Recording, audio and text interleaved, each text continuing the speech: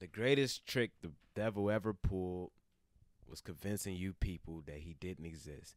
Now, I am trying to hit 2,200 subs before the end of the week. Need about 92 people more to do so. Hit that subscribe button for your boy. Make my dreams come true. Now, so CM Punk, he has to be the devil. Did y'all know that? Like it do I think we all agree. I think we all agree the other suggestions just doesn't hit. You know what I'm saying? The devil is the only thing WWE AEW, not WWE. the devil is the only thing that the AEW audience is caring about right now.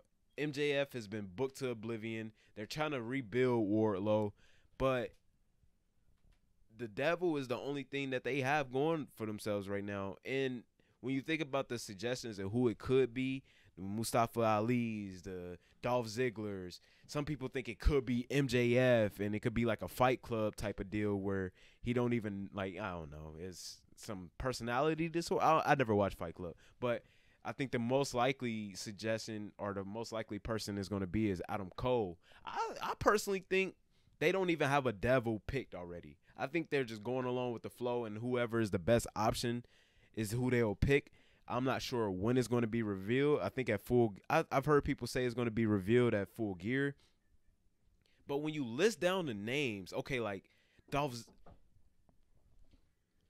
if it were to be Adam Cole, like okay, that's too predictable. You know what I'm saying? Like we are expecting it to be Adam Cole, and then it's just like okay, then what? He's a heel, and you know, Adam Cole. I think it's like the devil can be the representation of, or it could be.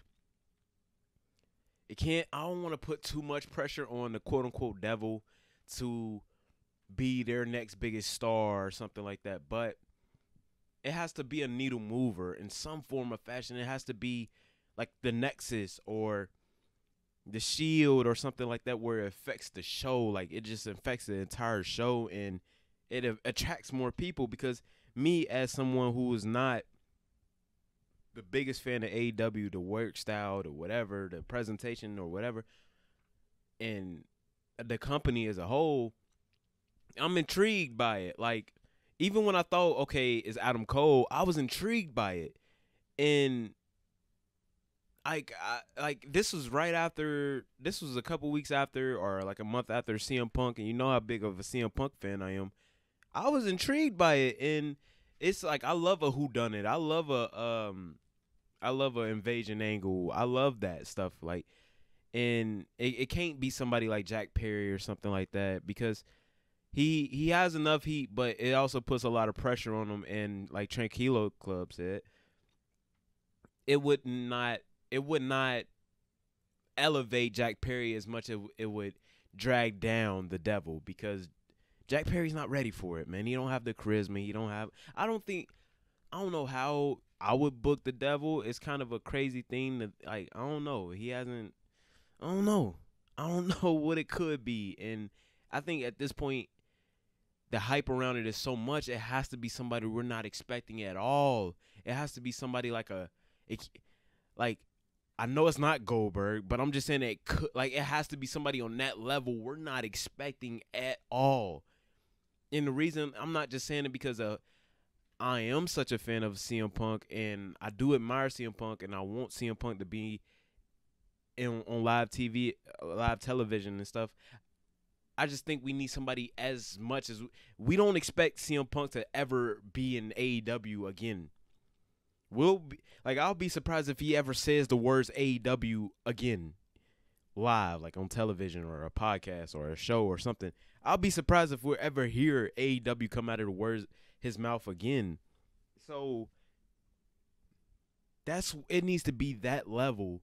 Like I was I used to think like, okay, if it's Tony Khan, I would like to see Tony Khan be the devil, but eh, it's kind of like it's kind of it's so broad and who it could be. Like, eh, if it was Tony Khan, it's like, okay, that's weird. Okay, then what? You know what I'm saying?